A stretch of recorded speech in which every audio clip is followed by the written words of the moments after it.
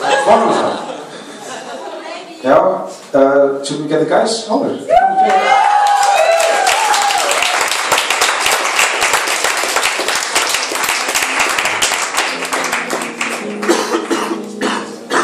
The one more song. It's, it's a song in Icelandic that uh, was released between our, our first and, and second album, and it's called Ólán, which means something like bad luck.